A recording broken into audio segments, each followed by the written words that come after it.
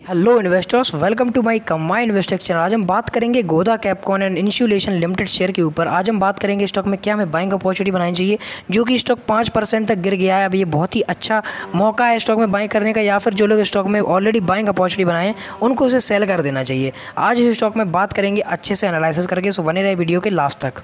इस सेक्टर की तो company electronic cables and conductor insulated wire का एक सेक्टर है। और अगर हम बात करें स्टॉक के प्राइस चार्ट की कंटिन्यूस डाउनफॉल हमें देखने को मिल रहा है स्टॉक के अंदर। स्टॉक रुक नहीं रहा है, हमें डाउनफॉल कंटिन्यू बनाता हुआ जा रहा है। आप अगर देखें वॉल्यूम बहुत ज़्यादा है यहाँ पर, और यहाँ पर बिकवाली भी हमें बहुत ज़्यादा देखने को मिल रही है। सो गोदा कैपकॉन शेयर में हमें इस टाइम पर बिकवाली अच्छी खासी देखने को मिल रही है। अगर हम बात करें स्टॉक में क्या जो नए बायर्स हैं, उनके लिए कुछ इंपॉर्टेंट मैं आप शेयर करना चाहूँगा। अगर बात करें इसके मार्केट कैप की तो देखिए इसका मार्केट कैप है around around three point three crore अगर हम बात करें स्टॉक का पी की तो पी इसका काफ़ी अच्छा है। R O C R O ई भी प्लस में चल रहे हैं। Current price two point eighty five है। Book value one point thirteen rupees की है।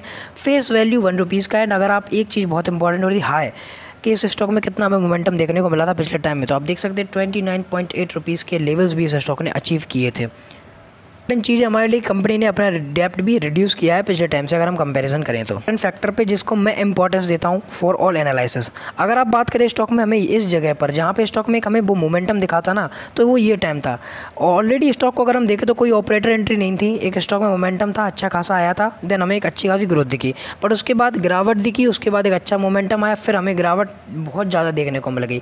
सो स्टॉक्स में जो इन्वेस्टर्स थे, जिसको ट्रस्ट था कि स्टॉक बढ़ेगा उन्होंने इससे अपनी पॉसिबिलिटीज हटाई इन स्टॉक में गिरते हुए टर्म्स हमें देखने को मिले। अब देख लें क्या स्टॉक बिज़नेस अच्छा कर रहा है या नहीं। करते हैं टोटल एसेट्स की। तो एसेट्स में आप अगर आप अगर देखें तो हमें बिकवाली देखने को मिली इन द अपकमिंग टाइम आप देखें तो twenty nine point forty nine crore के अब इनके पास एसेट्स हैं। पहले देखें तो अच्छे खासे इनके पास एसेट्स तो कहीं ना कहीं इसमें से बिकवाली देखने को मिल रही है स्टॉक में। स्टॉक में हमें आउटसाइड मोमेंटम मतलब जो यहाँ से जो इसका मैनेजमेंट है, वो कहीं ना कहीं से अपने जो मनी मार्केट मनी से अपना बाहर निकलना चाहता है। सो स्टॉक में हमें ये चीज़ें देखने को मिल रही हैं। तो कहीं ना कहीं अगर मैं बात करूँ फंडामेंटल ठीक ठाक है स्टॉक का। बट प्रेजेंट टाइम में जो बिज़नेस है और प्रेजेंट टाइम में जो मैनेजमेंट है, वो कहीं ना कहीं थोड़ी सी हमें in the down side trend में देखने को मिल रहा है। तो अगर हम बात करें स्टॉक में क्या हम बाइंग बनानी चाहिए, देखिए मेरे हिसाब से आपको भी वेट करना चाहिए। स्टॉक में हमें अच्छा खासा देगी in the upcoming time so then हम करेंगे इस स्टॉक को बाय अभी ये स्टॉक हो सकता है कि और भी ज़्यादा गिरे। अराउंड ये स्टॉक हमें दस से पंद्रह से भी तीस प्राइस तीस पैसे से भी गिरता हुआ दिख सकता है in the upcoming time so then हमें अपॉर्चुनिटी मिल सकती है। इसके क्वार्टर के रिज़ल्ट पर रहेगी नज़र। बिकॉज़ वो रहेंगे हमारे लिए बहुत इंपॉर्टेंट बिकॉज़ ये स्टॉक अपने क्वार्टर के रिज़ल्ट के हिसाब से ही मूवमेंट दिखाता है। सो धन्यवाद। अगर वीडियो पसंद आई है तो लाइक करें, चैनल को सब्सक्राइब करें।